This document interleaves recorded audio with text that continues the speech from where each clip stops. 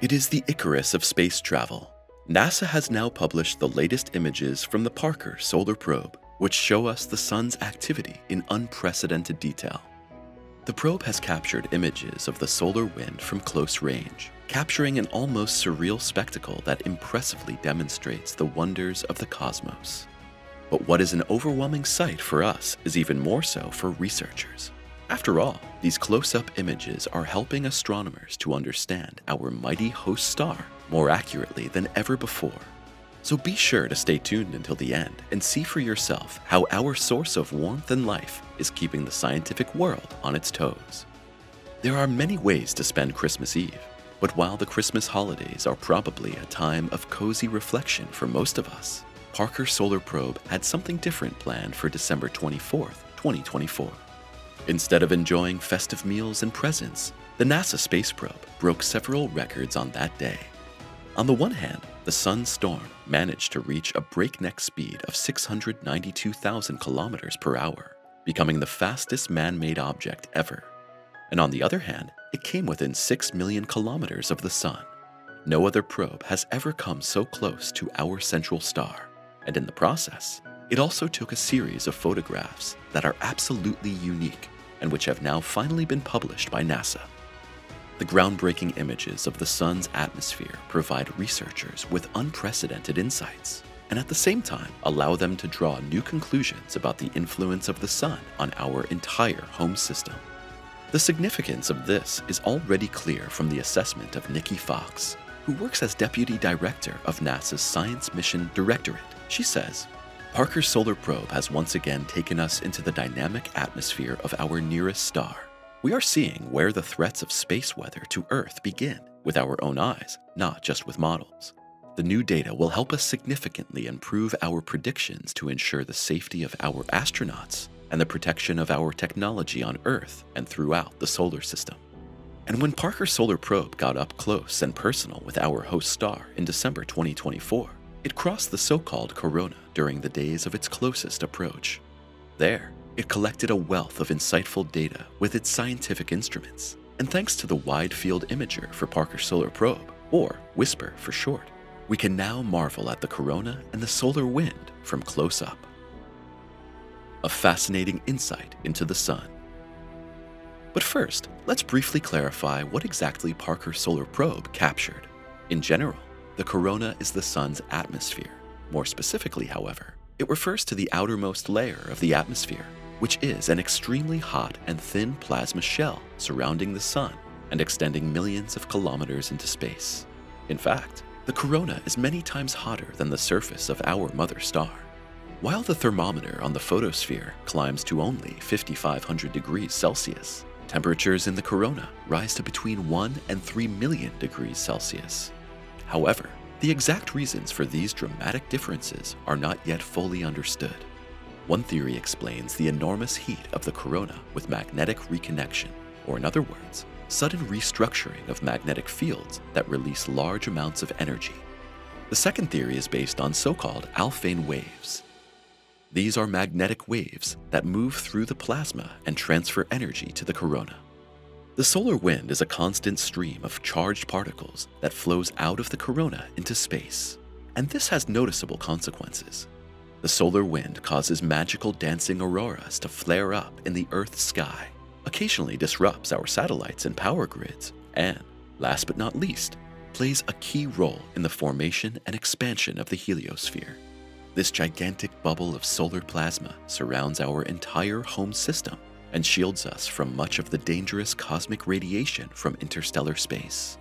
However, it's in the nature of things that we can only fully understand the effects of the solar wind if we also understand its origin in the sun.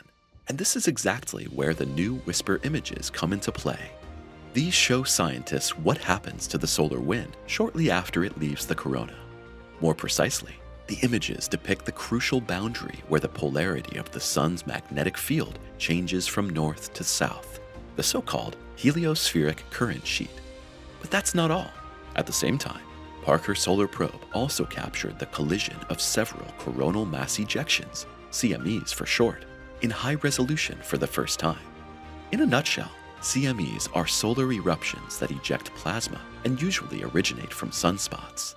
At the same time, such large eruptions of charged particles also play a major role in space weather. And Angelos Vourlidas, scientist for the WISPR instrument at the Johns Hopkins Applied Physics Laboratory, comments as follows. In the images, we see how the CMEs basically pile up on top of each other. We use this to find out how the CMEs merge with each other, which can be important for space weather. When CMEs collide, their course can change, making it more difficult to predict where they will ultimately land. At the same time, however, their merging can also accelerate charged particles and disrupt magnetic fields. And that is a potential problem, especially for astronauts, our satellites, and our technology on Earth. And so it is that the close-up images from the Parker Solar Probe are helping experts significantly to better prepare for such space effects on Earth and beyond. The mysteries of the solar wind it is, of course, no coincidence that the Parker Solar Probe is called the Parker Solar Probe.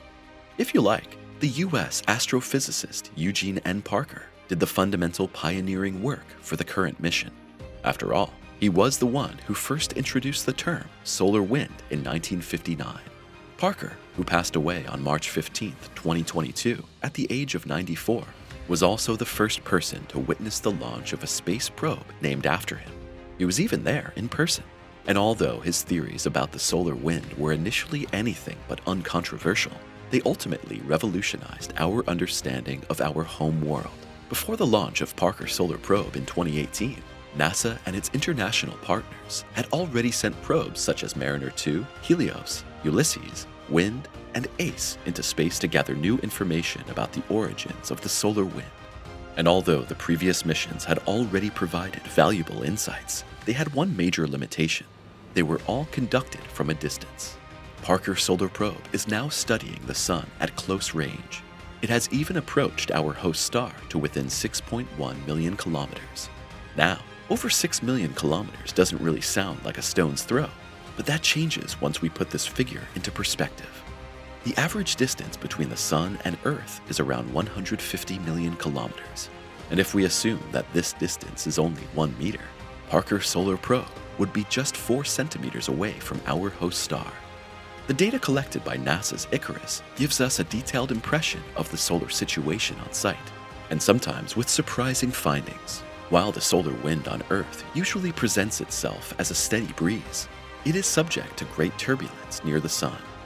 Approached our star at a distance of 23.7 million kilometers, it registered zigzag-shaped magnetic fields, which experts refer to as switchbacks. Based on the data, scientists realized that these switchbacks, which occur in dense, irregular clusters, are apparently much more common than previously thought. When Parker Solar Probe first entered the corona in 2021 at a distance of just under 13 million kilometers, it again found that its boundary was uneven and much more complex than expected. As it flew even closer, it finally helped researchers locate the origin of the switchbacks at spots on the sun's surface where magnetic funnels form. In 2024, experts announced that the fast solar wind, one of the two main types of solar wind, is partly driven by these switchbacks, solving a mystery that had puzzled experts for 50 years. And while the fast solar wind whips through space at speeds of between 500 and 800 kilometers per second, its slower counterpart takes a more leisurely approach. At 300 to 400 kilometers per second, the slow solar wind is only about half as fast. The big question now, however, is how the solar wind is created and how it manages to escape the immense gravitational pull of the sun. This is particularly true for the slow solar wind, as its interaction with the fast solar wind can generate solar storms on Earth that are sometimes comparable to the effects of CMEs. Parker Solar Probe will continue to help shed more light on the darkness of the Sun. The probe has already confirmed that, as suspected, there are two types of slow solar wind, which differ in the orientation or variability of their magnetic fields. And scientists are already eagerly awaiting the data that the probe will collect in September, when it will once again fly close to the Sun and reveal what surprises our mother star still has in store for us. And the subscribe button is already waiting for you below our video. Just click on the thumbs up and then subscribe to stay up to date from now on. See you soon.